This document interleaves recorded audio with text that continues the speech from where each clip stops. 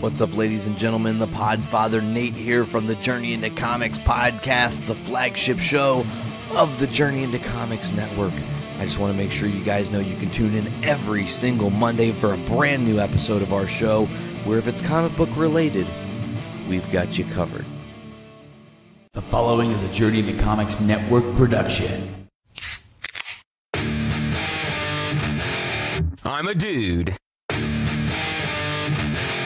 who likes brews. It's time for Brews with Dudes.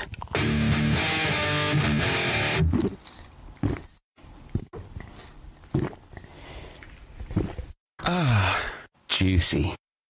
Good evening, good afternoon, good morning, whenever you're listening to this. Welcome back to another episode of Brews with Dudes.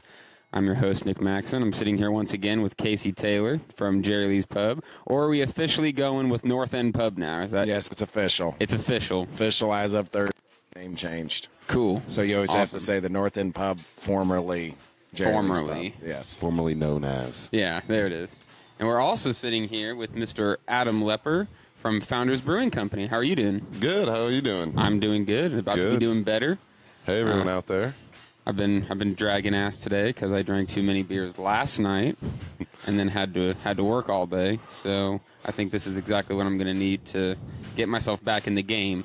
I feel ya. I, I was out late last night too. It was 4:20 last night. So It was it was it was uh, a holiday, some people would say. It was a long day. It was a very Yeah. long day. I know for you it was a long day. Yeah, we, we were up at, at the crack of dawn, heading down for a beer release. So it was worth it, though. It was well worth it.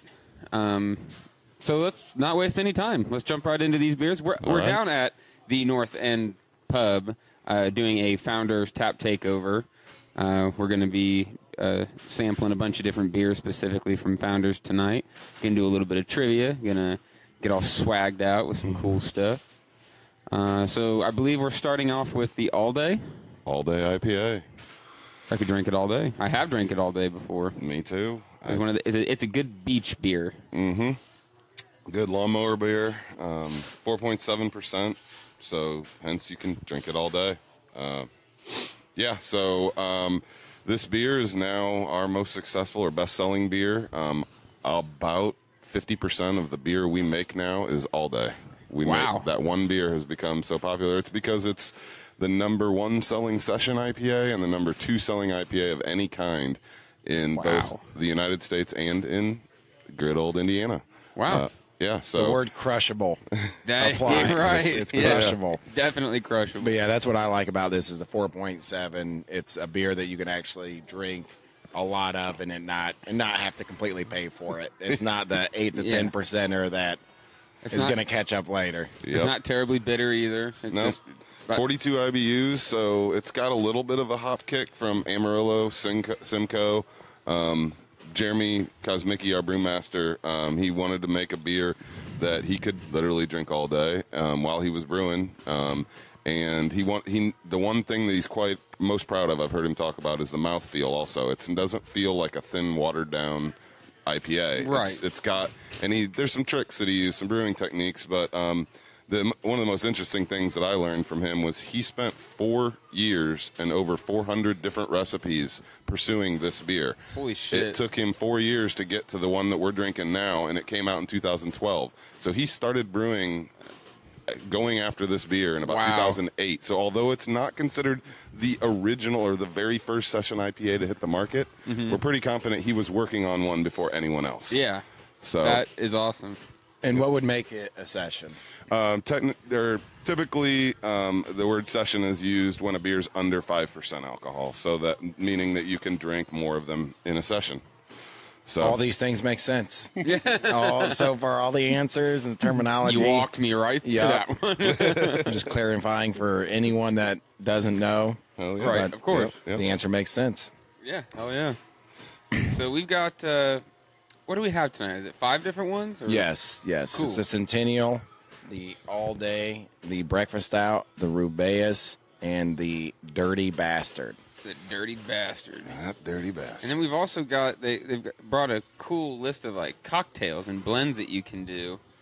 Like there's this one that I, I keep eyeballing. They call it the chocolate covered raspberry, and, and you blend the rubaeus with a porter or a stout. It just sounds fucking awesome. Well, why don't we do this? Why don't we go to the breakfast stout, leave a little bit, pour the ah. Robes, talk about that, and then Okay. move on to it. Yeah, I like that's a I good like the way you think. Yeah, so we'll do Yeah, some I'm not. I'm not. breakfast stuff. Are you allowed to cuss on this? Yes. Okay. Yes. All right. Because We sure can. one of the things, actually, the dude at the bar told me I had never had a breakfast until recently, and he said if I could die, I would want to go out riding a motorcycle, getting head, drinking this beer. so that was like my preemptive introduction to the beer, which would also explain why one would die, though. I mean, the whole that, that's a believable way to die. Hell yeah.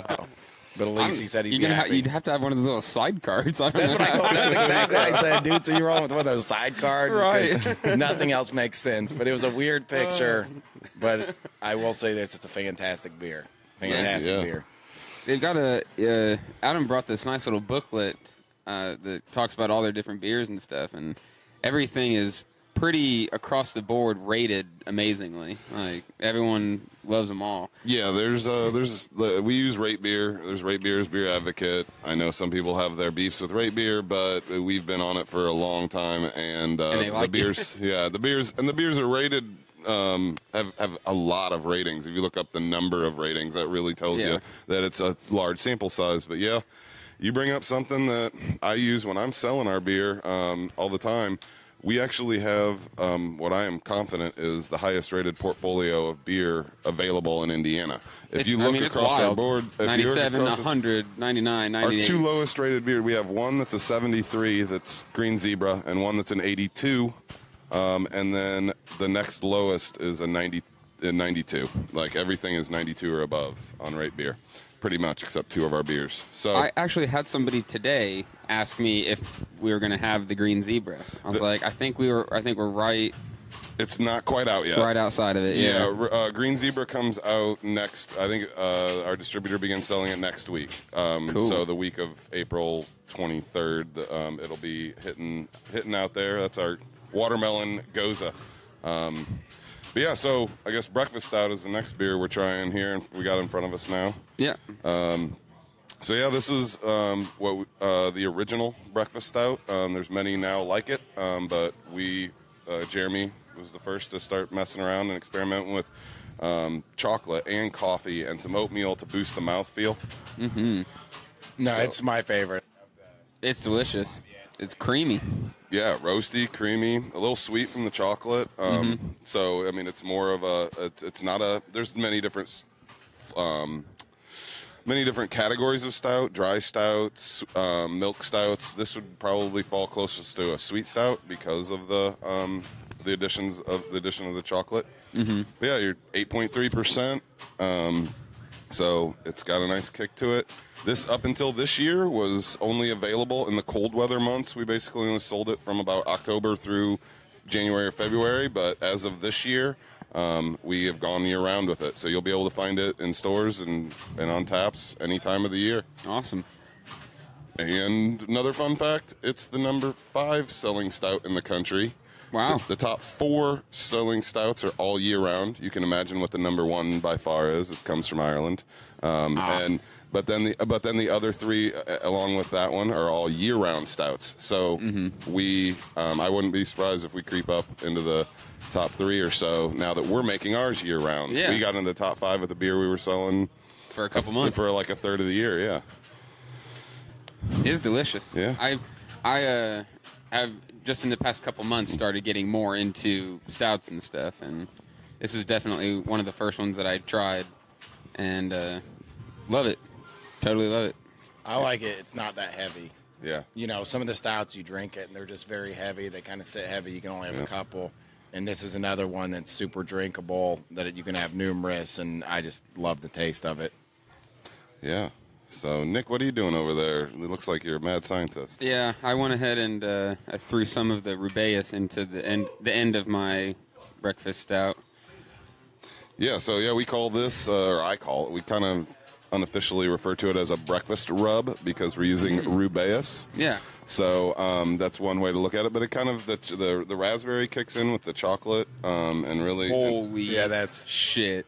that's a good combo. Yeah, you can. that I is a really good play- combo. You play with the with the ratios. Some people like more raspberry, more rubaeus, and it really thins it out. I tend to think it's better with seventy or so percent breakfast stout, and then just a Yeah. little bit of rubaeus. It really kicks through really well. But yeah, See, that's the, what I the did. I- chocolate hits you in the front, and then and then the raspberry. the raspberry, like it's actually a chocolate covered raspberry. That is amazing. I feel like that's what I'm going to be drinking on tonight. No, I'm just going to keep keep blending these together. hell No, yeah, uh, There's yeah. a definitely a fun thing is looking at that list and going through some of these and trying them and mixing them because it's you don't think about it, but it's a perfect mixture. It's yeah. absolutely awesome. Y- Yeah, we um we we we love Rubaeus by itself, and it's a great beer by itself. But it's also a fun beer to to play with. Uh, we like I like to joke around that um, Black and Tan doesn't get to have a monopoly on blending beer. Right. I mean, there's a there's a lot of other blends out there now. You you'll see bars doing, um, but with Rubaeus, you can do what we're doing. Um, it, we can transition to also the fact that my favorite um, blend is what, what I call the all day rub.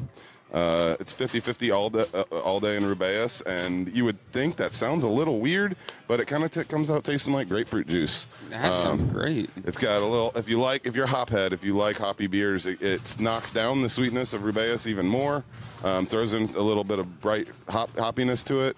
Um, the other big one that we, that we do, we also do these at our tap room. If you come visit us in Grand Rapids, um, the other one that's very popular for those that aren't hopheads is the Dirty Rub.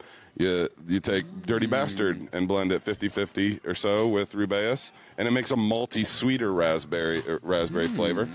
But you can get all kinds of uh, crazy. You can make your own raspberry shandy. You can make raspberry mimosas, raspberry mules, ma- raspberry mojitos. Just take a shot of your favorite spirits, throw it over ice, and mix it with some Yeah. rubaeus. Have a raspberry cooler. Yeah, It, yeah. it goes well with almost pretty much every liquor, liquor you can think of. Yeah. I've had people tell me they've done it. I haven't done it myself with everyone yet, but Yeah, that's what I was gonna say. If we want, we can do the Scottish and then throw the Rubaeus back in there and get some of that as well. We might as well. We might as well. We've got a good system going on here. yeah, I'll take my uh, my dirty bastard too. Where there it is. I think this is mine, and the uh, yeah. So um, I wish I would have mentioned this earlier when we had the all day, but that's what I'll be drinking later tonight. That's one of my favorite. I I sit around at home and just crack open one of each and pour it into a nice big glass, and Yep. and uh, it's very refreshing. I have a feeling that's I'm gonna just do all every single one of them with a little bit of the rubaeus because I, I like having a little bit of fruitiness in my beers, especially Oh, when I'm you're glad you mixing- clarified in, in your beers. in my beers, in my beers. Not particularly fruity. I don't think at least. So, so Dirty bastard. this, what is it? Like Scotch phenomenal. style. Scotch style ale, malty, caramely, sweet. Maybe just a touch of peat smoke. Um, for, uh, we use seven different imported malts, and um, those uh, two of those malts are actually peat smoked as opposed to um, electric or wood kilned. Um, So it gives it a little bit of an earthiness. But yeah, Dirty Bastard is a really fun beer to talk about for me and for, uh, for the brewery. Um, it's got a very special place in our heart. We call it the beer that saved the brewery. Um, If it weren't for Dirty Bastard, there wouldn't be a Founders today. Um, tra- we'll trace our history all the way back to 1997 when our owners started it. Um, Dave Engbers and Mike Stevens, they're two college buddies that homebrewed together. Um, they started a brewery, but by the year 2000, barely three years in, uh, they were they were not doing so well. The brewery was was not going. The beers weren't selling. Um, they were less than six months from having to sell off their brewing equipment and go out of business forever. And they decided to brew a last hurrah batch. And like the home brewers they were, they brewed a beer. They didn't care whether it sold. They brewed a beer they wanted to drink. Right. It was some they, they they figured last hurrah, man. Why are we gonna brew? And so they brewed Dirty Bastard. At the time, it was one of the first. You can't see me doing air quotes, but first. uh, uh, beers in the extreme beer movement. I mean, we're talking the year 2000. Um, there wasn't a lot of cra- um, craft beer; hadn't really exploded quite yet. Um, and they put it on in the tap room. It was so successful. People drank it so quickly and loved it so much that it kept the doors open. Wow. Um, they they realized then that they had been making unremarkable beers that they just thought people would like and they thought would sell, and it was the styles that you had to make. You you could have a checklist of craft beer styles Right. back then that you had to do, and um, Scotch ale was not on any of those lists. But they made this this beer, and it. Um, it inspired them to redefine the motto of the company to brewed for us. Brewed for us uh, defines what we do. We brew beer we love. Hopefully you do too, and then you're one of us. If not, there's a whole lot of great other beer out Yeah, there. Go right. drink that. No hard feelings. We Right. tried with our flavors. If they don't resonate with you, I'm sure you'll find a different one some- from somebody else. So, And you guys have a little bit of everything. At, at, I, you know, there's a lot of a lot of breweries I see that, that are like they'll just do all IPAs. It seems like they just do a bunch of those. But yep. Or they as you're looking- specialize in a. In, Yeah. as, that maybe they do mostly Belgians. Or, yeah. Oh, Yeah. absolutely. Yep. Absolutely. No, I do like the portfolio. You guys do a great job of spreading out your different beers for all different types of people. Because not everybody is into your hardcore IPAs. Not everybody's into stouts. Yep. Uh, my wife is loves Rubaeus, likes the Yep. mimosa idea. So Yep. I think it's nice that you bring people out that they can try different beers that works for them. Uh, you guys, I know, I've brought it up a little bit. I know you've gone, Nick, but can you talk a little bit about the brewery? I have not been able to, but I looked on the website and it just looks super massive. impressive and awesome. Yeah, sure. Um, so yeah, we're located basically downtown Grand Rapids, uh, Michigan. Uh, you can see our the brewery now from 131 as you come in. If you're coming from the south, and you're coming as most of us would be um, coming into to Grand Rapids, you can see it from the from the highway. Uh, yeah, we've now filled out the entire city block. Um, we've basically slowly taken over that block and bought it up and and built um, expanded our brewery. Um, yeah, we now have a 350 um, barrel brew house. Wow. Um, we started. This is another crazy thing about the, the the guys that started this brewery. They started the brewery with a 30 barrel brew, uh, brew kettle or Wow. brew system. Most breweries now, if they starting, it's maybe seven, ten at the max. That's Yeah. your starter size at the most. They started with 30. They went all in. That was one of the reasons they were behind the financial curve Right. or, uh, curve for a while because they had dropped so much in. But they eventually graduated to two 30 barrel systems. Then it was uh, they added an 80, then a second 80 barrel. That now we have have what's considered to be one of the largest um, brewing systems of its kind um, because we still do what's very familiar to any of the homebrewers out there. We combine, we do our mashing and our, um, we do our mashing and, um, oh, now I blanked on it. Um, we do the mash in the same kettle as the as the boil. So Okay. um, s- some of the brewing systems they separate that out, um, but this is a older traditional system. It's much closer to the way home brewers brew. Yeah. Um, so. Um, it's a huge system, but we are open seven days a week. We have a huge tap room that seats 600 people. Um, if you like they were saying, it's massive. If you go into the tap room, uh, just the tap room area, so there's a huge uh, main bar, a side bar, which come, came from the original building, um, which I could tell a story about. The name of the brewery, also, if you want to hear that, I'm unfortunately for some fill, filled with uh, all kinds of stories. But we also have an outdoor patio, a company store. Um, we do tours. You have to go online ahead of time. Find the tour page, sign up for a tour in advance. You'll see it costs ten dollars, but you get a free pint glass and a free fill at the end of the tour. Um, because we do that because we keep the tours to only twelve people, and we want to make sure that if somebody's saying they're going to show up, they show up, so that our tour Right. guides have a full tour. And and uh, so so you can take tours um, at, at Founders, but it's a fun place to come. Great city to come and enjoy. Um, there's about 40 breweries in and around Grand Rapids, and a city about the size of Fort Wayne. Um, I'm just use that because I'm Damn. from Fort Wayne. But yeah, there's a lot. We there's could spend a huge whole brewing a whole scene. day, whole Yeah. weekend. Yeah, there's a lot of great other breweries up there. Um, I couldn't, I, I, I shouldn't li- name one because I won't be able to name them all.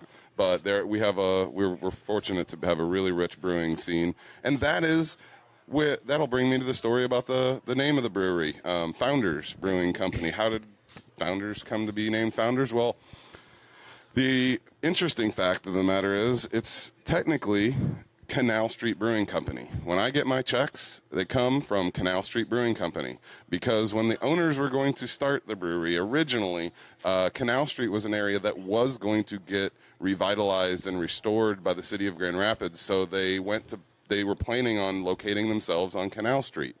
Um, well, interestingly enough, that deal and situation completely fell through, and our first br- uh, operations was on Monroe Street. So we've never even been existed on a canal street. Right. um, but when they made their package, when they first started making their packaging and their labels and their like tap um, stick labels and stuff, they put a line on there that said "Brewing Founders Beers," and they only meant that as a reference to the founding brewers of the Grand Rapids original brewing scene back in the 1800s. Um, and what happened, they found, was that br- customers were going into stores and going into other bars and saying, "I want one of those founders beers." They'd overlook the Canal Street Brewing late name because it was old graphic design, the, the way it looked. wow. So they just decided, you know what? Since we've never we're not on Canal Street and we never have been, we might as well just change it. And so technically, Founders is a DBA, uh, doing business as. So it's Canal Street Brewing C- Company doing business as Founders. Uh, Wow. yeah, Bam. it's crazy. That's Well, cool. history knowledge, that is cool. That is pretty cool. Whenever I've we went so we went up uh, for uh, the CBS release, the the latest one, and that was our first time there. And fucking, they opened at eleven. We were there at eleven fifteen, and there were hundreds of people. the place was totally packed.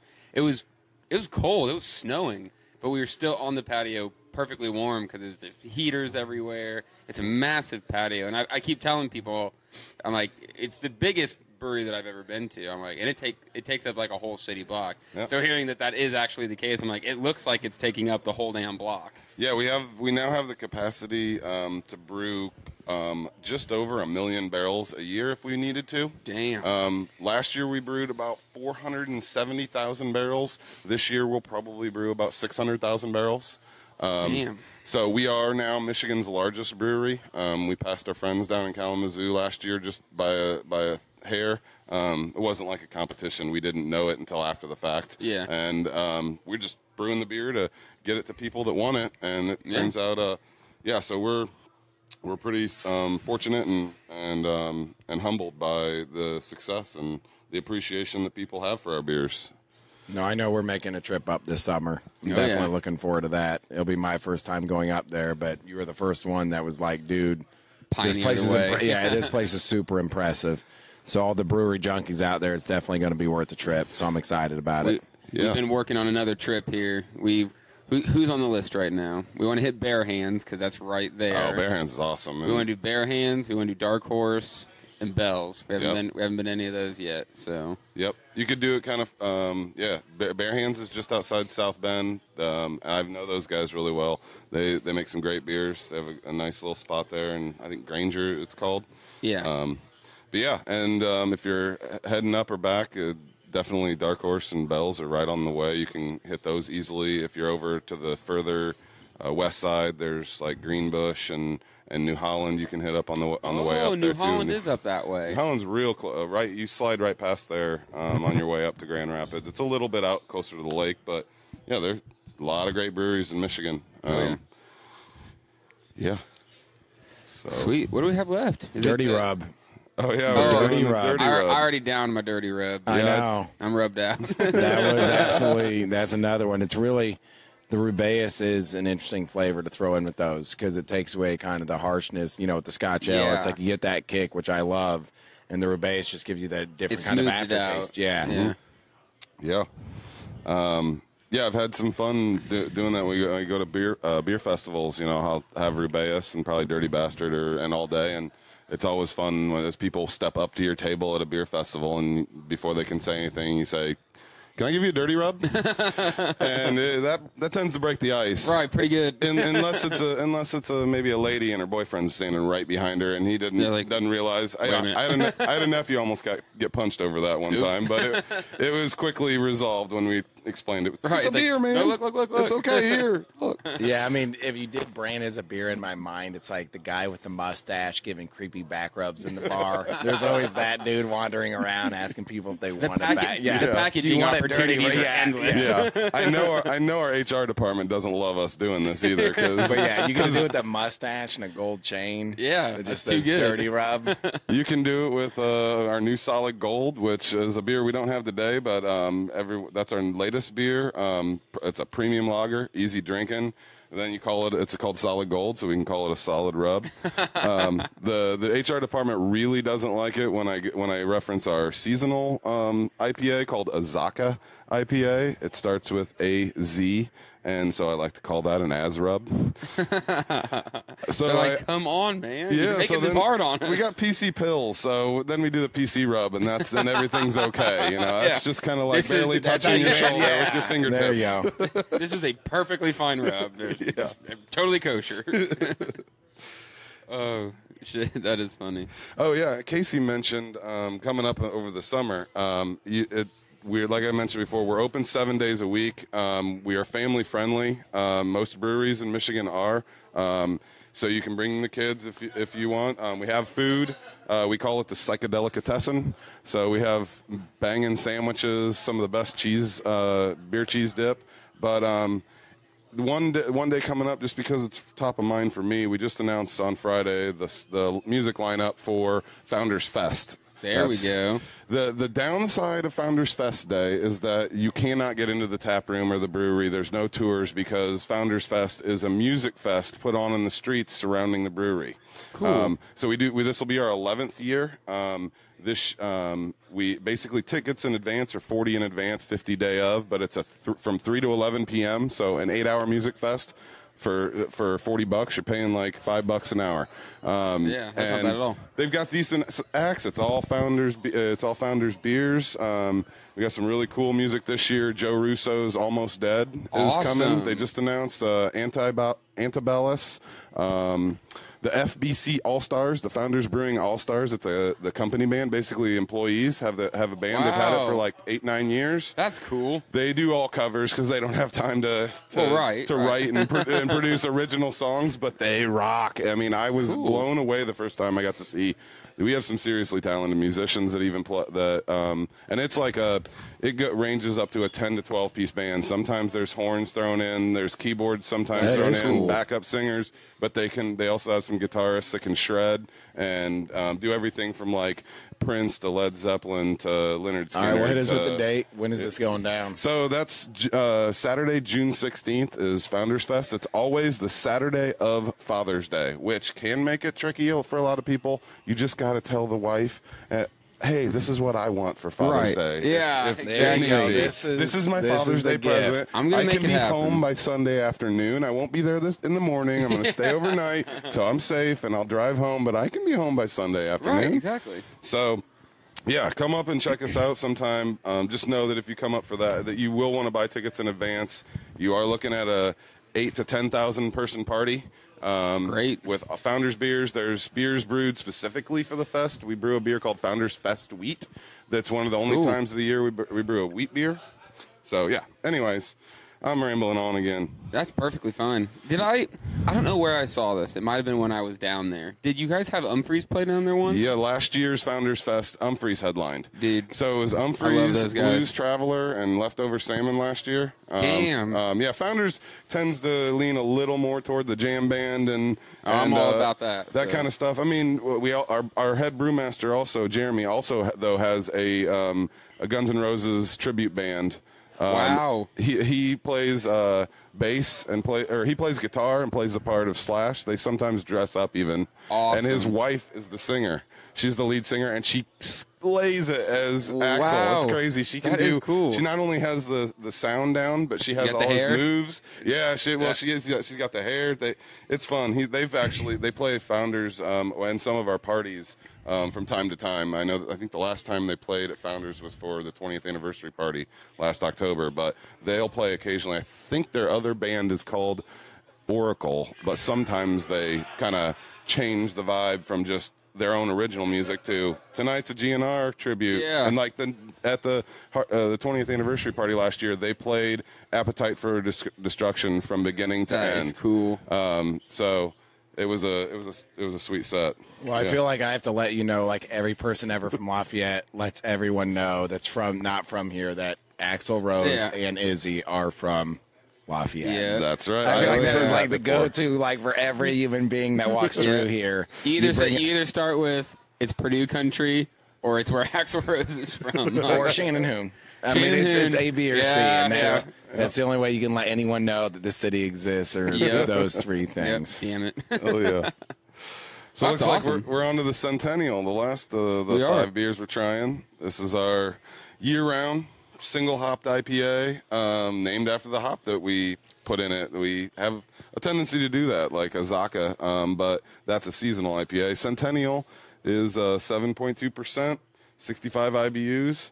Um, it's um, it, it, in its current iteration, we're quite proud of it. Um, there is a story of how we used to have an IPA, and um, Jeremy uh, tried to hook up a friend with a keg of our old IPA. This is before the Brewed for Us days.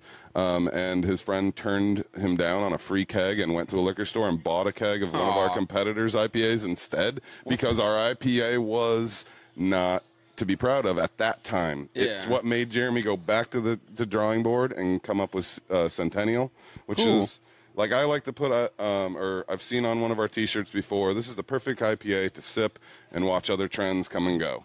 It's a, it's not to knock those other trends, but this is an IPA that has stood the test of time. It's, you can see it's got a 99 rating on RateBeer. That's pretty tough for a year-round IPA to get a, a, a rating that high. Um, it's not a seasonal or special release. You can get it any time, and it's just a really piney good time. Yeah. That is, I think that's the word I was looking for to describe it. Piney. Piney and floral, kind of. Um, Yeah. Yeah, aromatic.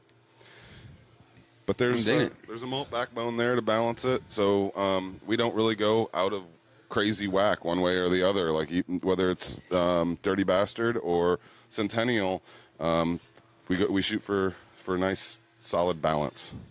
I think the good thing too about all these beers is the aftertaste.